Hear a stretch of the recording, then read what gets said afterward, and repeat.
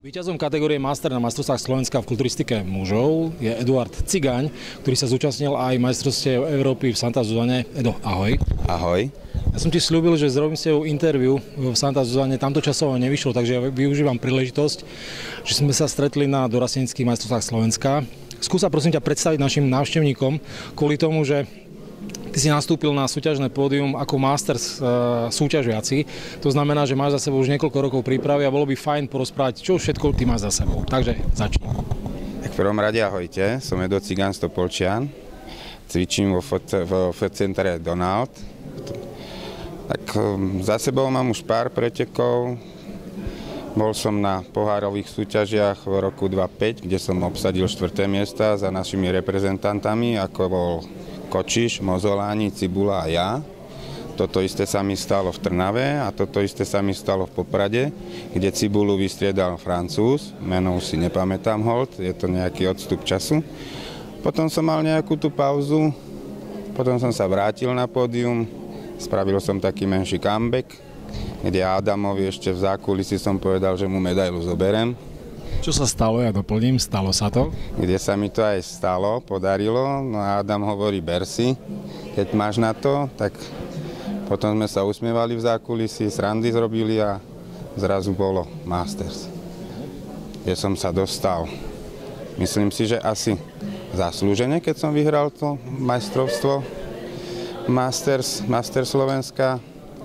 Boli tam trošku také prieťahy ohľadom letenky, neratali s tým Čiže na Masters to bolo hektické, kde som bol trošku sklamaný z toho, že nemal som farbu. Do posledného dňa preteku som nemal farbu, čo ma nervozitou zjedlo. E, ráno na váhe v strede som mal 78,9 kg. Večer o pol desiatej, keď som sa dostal na oficiálnu, oficiálnu váhu, tá váha skočila až na 76,6 kg čo som bol na podiu naj, najľahší, dá sa povedať, čo odišli mi prsia a preto si myslím, že to tretie miesto mi ušlo. Si skončil, ak sa nemýlim, na štvrtom mieste, tak? Presne tak. Pamätám si, forma bola celkom dobrá, trošičku máš pravdu, chýbali tam objemy, ale nevadí. Ty si vlastne prvý rok e, ako master e, súťažiaci, tak? Áno, presne tak.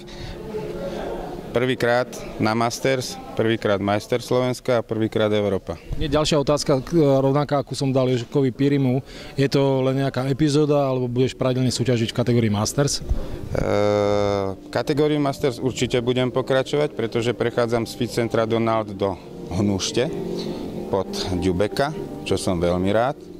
Mám s ním stretávku, na ktorej sa dohodneme o prestupe a o ďalších mojich krokoch. Znamená to, že bude sa pripravať už na masterstva sveta Masters v tomto roku, alebo dá si nejakú prestávku a dáš dohromady peniaze kvôli tomu, že ja musím pripomenúť, Masters súťažiaci si všetko hradia sami. To znamená, že oni nemajú žiadnu dotáciu od asociácie. To znamená, že musia si za, zarobiť peniaze na letenku, musia si zarobiť peniaze na prípravu, proste zarobiť si peniaze na všetko. Presne tak. Je to tam trošku o tých financiách, čo už je dané, už keď bol Bystrý Kačer v roku 2000 na Masters, aj na Slovo, ako na svete, tiež si to hradil sám, pripravoval ma na toto. Nevadí, skúsili sme, nejakých sponzorov mám, uvidím, čo mi pomôže Dušan. Takže teším sa na spoluprácu s ním a určite nie tento rok ešte svet. Je to v prvom rade, ak Dodo hovoril, keď som počúval jeho interviu, je to ďaleko. No a určite pôjdem Santa Zuzanu znova.